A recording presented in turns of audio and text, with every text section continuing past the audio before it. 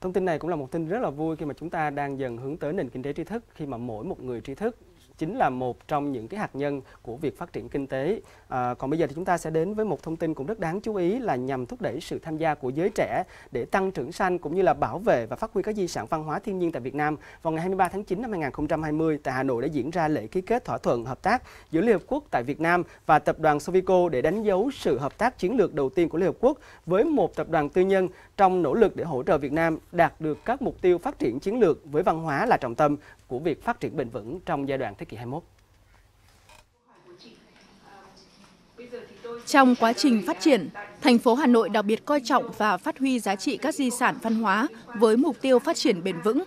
Hà Nội, mảnh đất ngàn năm văn hiến, với hệ thống di sản văn hóa dày đặc, gần 6.000 di tích lịch sử văn hóa, 1.793 di sản văn hóa phi vật thể, tạo thành lớp lang sáng tạo, tôn vinh văn hóa Việt.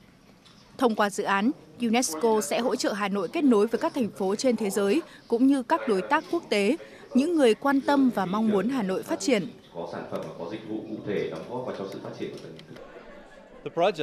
Dự án. Giúp hiện thực hóa và đẩy mạnh một tầm nhìn phát triển chiến lược mới cho Hà Nội, qua đó mở rộng và đẩy nhanh những nỗ lực phối hợp vì sự phát triển toàn diện, đổi mới và bền vững trong thành phố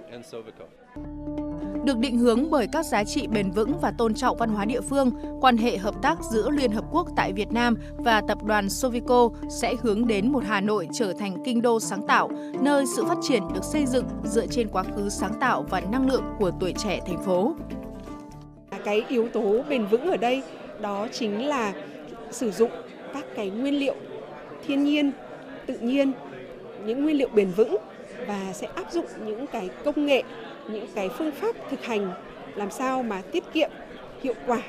sử dụng tiết kiệm và hiệu quả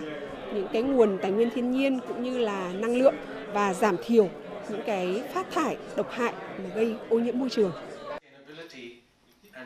Tập đoàn Sovico bước đầu sẽ phối hợp với UNESCO, UNIDO và Uni Habitat hỗ trợ Hà Nội trở thành thành phố sáng tạo do UNESCO công nhận.